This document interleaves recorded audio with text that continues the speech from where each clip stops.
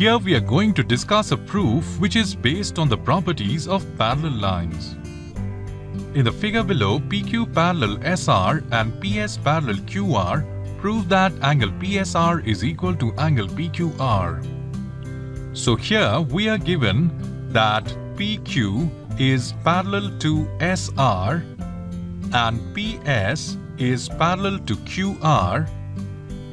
We have to prove that angle PSR is equal to angle PQR. Here, points P, Q, R and S are the intersection points of the respective lines. When we consider AB and CD as the parallel lines, then PS and QR can be considered as the transversals and when we consider PS and QR as the parallel lines, AB and CD can be considered the transversals. Let's now discuss the approach for proving this.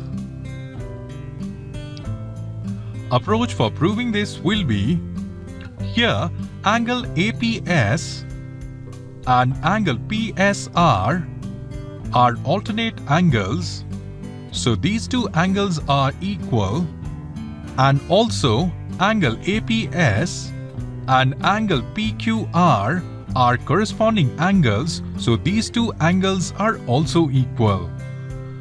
So this angle is equal to this angle and this angle is also equal to this angle. That means these two angles are equal to each other also.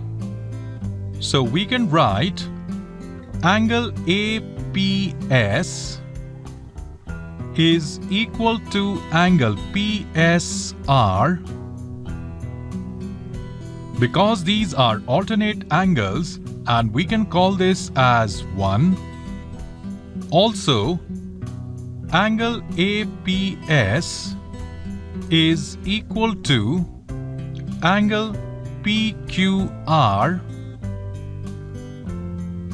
because these are corresponding angles, we can call this as 2.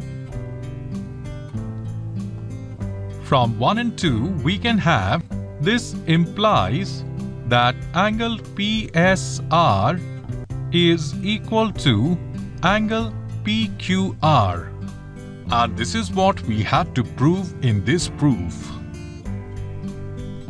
Let's summarize what we have learned from this proof two pairs of parallel lines that means PQ and SR and QR and PS form a parallelogram PQRS.